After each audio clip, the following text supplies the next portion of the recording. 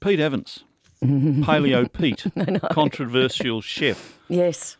Who knew? dangerous in some ways. Is he a mate of yours? No, Well, you posted a photograph with I know. I, look, Why? Well, I was doing. He he asked to interview me on cannabis and on and you know my, I think my views are pretty clear on cannabis on on this program. Um, so he asked to do an interview with me on a program that he was doing on cannabis, which I agreed to. We took a photo. I must say I didn't know much about him. I I don't watch a lot of reality TV, I'm afraid. Um, and we took a photo, and boy, did it cause a stir that somehow by having a photo next to him, I all of a sudden No, but you also tweeted about him. What did you tweet? I said, oh, it was great meeting Peter Evans and doing a program with him on cannabis. You know, This I could- an anti-vaxxer, for heaven's sake. yeah, I, He I'm- advises people to look at the sun. I know. I am not an anti vaxxer. I should wear more sunscreen, but I'm pro sunscreen and I've never, ever eaten bone broth, I don't think, in my life. Now, look, I suspect that you have probably been in a photo with people whose views you don't agree on. Yeah, but I don't think I've tweeted in support of them. No, I don't think it was a tweet in support. It was just Great to meet him. Yeah, well, it was nice to meet him. We were doing a cannabis, you know, we were doing a cannabis documentary. I was at a medical cannabis symposium. So is he, is to he a dangerous wacko or not?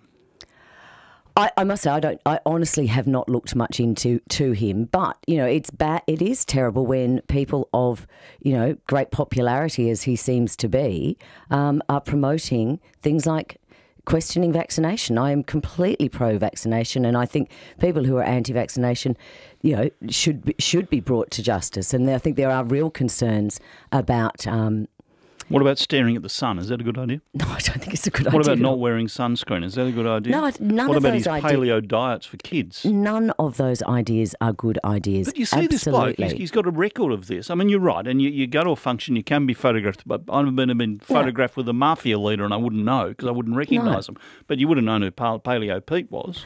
Look, and I you knew- know that he's, he's controversial at the very least. Yeah, sort of. I mean, on the on the edges, I knew that. I mean, I knew that he was some celebrity chef, but I knew what I knew was we were doing a documentary on cannabis. I was at a scientific symposium, and he was set up doing interviews there, and I did an interview with him. You know, I, I think that was all I did. I'm, I'm What was the interview for? It was a cannabis documentary, and I, he asked me my position on prohibition and on how I thought the laws should change in regards to that, and in regards to greater access to Have, medicinal have you cannabis. removed the photograph? Yeah, we have Why? Because it seemed to upset so many You people. You got a lot of a lot of your supporters were it, angry. It, it upset an awful lot of people, and I so I take I take that point. You know, it upset people. I listened to that and I took it down. From Sabine was a classic one. Quote, out of all the seemingly intelligent people at the symposium, you chose to pose with a dangerous dickhead. Yeah, and Sabine, as as I think I commented, sent a few photos. I'd also did actually pose with an awful lot of people at the symposium.